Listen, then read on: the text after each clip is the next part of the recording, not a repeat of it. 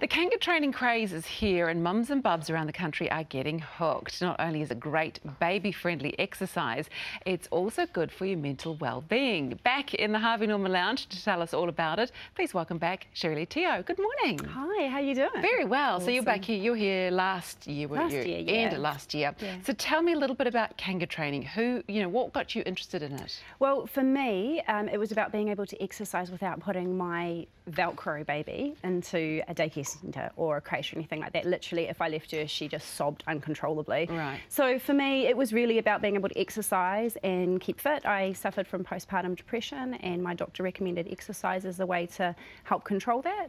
And um, I went and looked, and there was nothing in Auckland kind of like it. So I did the training, and it just kind of went from there. And it's grown, and I've become the country leader. So, so tell me a little bit about Kanga training. What exactly is it? So it's you with your baby. Yeah. So um, it is a low impact exercise program that um, you wear your baby for the majority of the class. We do a little bit of floor work first to help strengthen your core, and then we put the babies into the packs. Um, we're sponsored by Manduca, so we use Manduca, but there's heaps of different ones that you can use.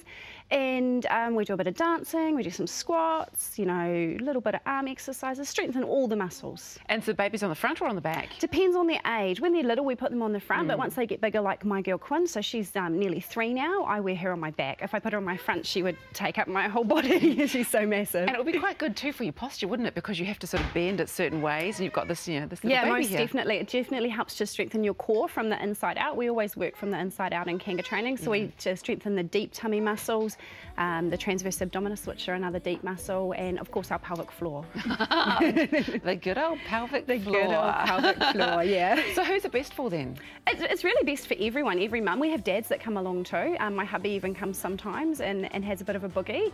Um, but it's really good for mums that have recently had a baby. Um, we do obviously specialise in helping mums strengthen their core and their pelvic floor. So if they've got a bit of a weak pelvic floor, um, or you know their tummy's a bit sore after they've had a baby, then we can help them out with that. Okay, we're looking at some on. Oh, there we go. Oh so, yeah, it's my Kanga trainer down in Dunedin. Um, we did a, a, dance last year where everyone in the whole of New Zealand did exactly the same dance. Oh, wow. Yeah, it was really fun. And I suppose the babies actually quite like it because they're close to them and they're also giving you, like, you're getting that little jiggle too, so it keeps yeah, them nice so and comfortable. they go to sleep. Most mm. babies go to sleep in class, which is really, really awesome. Which is perfect. So it's obviously a little bit about what the mums get out of it. What else do they get out of it? Um, they get friends, yeah. um, definitely. They get endorphins.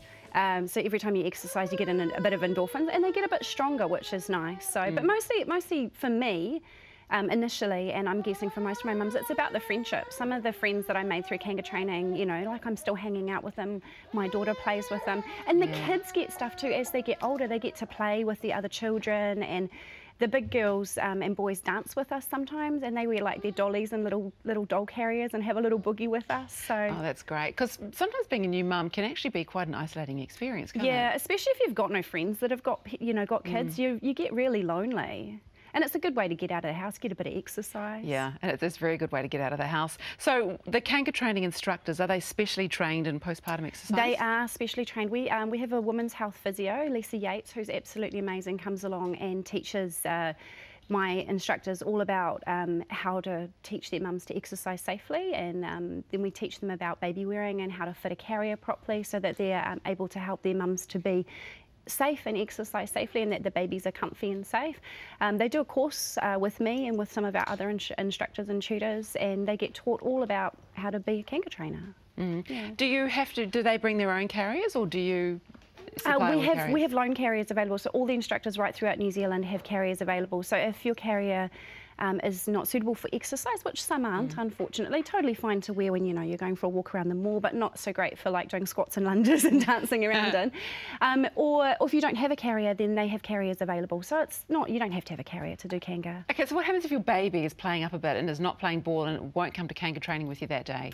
Do you have any alternatives? Um, yeah, we do. We've got well, I, I have an alternative because sometimes my baby doesn't want to do Kanga with me. So um, this is Harley. This is my little baby. So uh, she weighs about the same as an average newborn, um, so she's about three and a half kgs. Uh, last time I bought David, who was my big doll, um, and he weighs just under 10 kgs. Can I have a little hold? Yeah, you can. This is exactly what one of my children was at birth. So, oh yeah, oh yeah, yes. Yeah. And she's, to be fair, she's much better behaved than, than my daughter is she's, some days. She's really, you've been a very good girl, Harley. Yeah. Um, so fun is obviously very important for the yeah, mums as well. definitely. All We try- the backpack there. Yeah, sorry. you did. when I put her in my carrier, I like jiggle her, and, and I'm like, it's a doll. I don't even need to jiggle her, but I She's do not anyway. gonna cry. Yeah, um, yeah, it's totally about fun. Um, we we joke around, we laugh, we have Yeah. a giggle, we have a chat um, at the beginning and the end of the class, you know, about things that mums might need to talk about or Poop. yeah and, and sleep and, and how to make a meal quickly and And it's I kangaroo should training. some of your meals with oh yeah, it's kangaroo training around the country now. It is, yeah. We um, we have 18 trainers across New Zealand at the moment. Of course, I'd always want more because I want Kanga training to be available to as many people as possible.